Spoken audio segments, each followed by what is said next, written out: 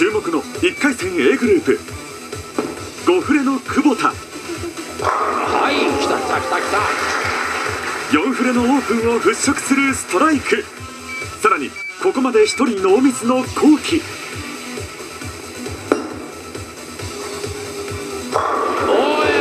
取った。ストライクでトップをキープ。浅田はスペアとしゲームは第6フレーム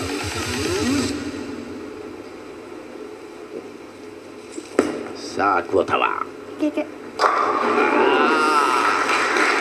久保田のポイントが現在11したがってこの第4戦勝ちますと大きくポイントアップするわけですが1位浅田2位に縄明3位の寺下は今回欠場です。4位にそれから三浦選手が頑張ってましてね。そうですねもう充実度満点で今頑張ってますからね。ね。5位に久保田6位に前回優勝の鶴井亜南3人が11ポイントで並んでいます。豪華なメンバーですね。はい。さあまたストライク。あーこのスイカ。せっかくのスタートからこの浅田がつながりませんだんだん思いっきり投げれなくなりましたね。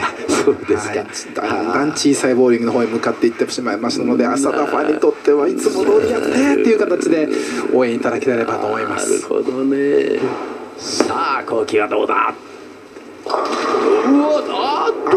とこのスプリットは予想外ですね。ですね。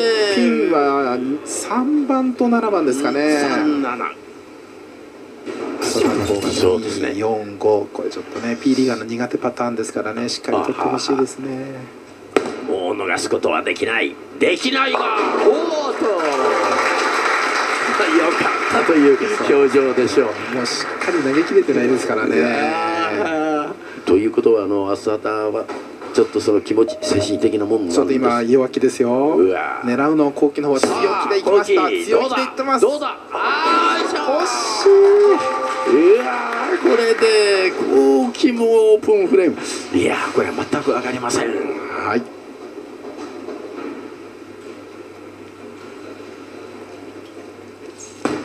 7筆に。右左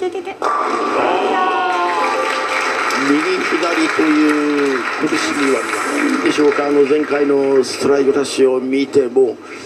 上手に投げてますよねそうなんでしょうね。しっかり投げてますあ浅田里奈なんとか投げ切った。はい。なるほど。ということは気持ちの上では戻りましたかね。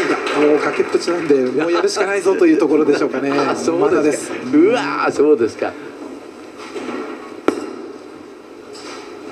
ナイスボール。ここでなんとか持ってきた。この後ゲームはクライマックス